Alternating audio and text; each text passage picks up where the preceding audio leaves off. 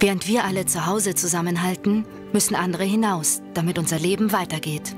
Dafür arbeiten auch die Mitarbeiterinnen und Mitarbeiter von Verbund.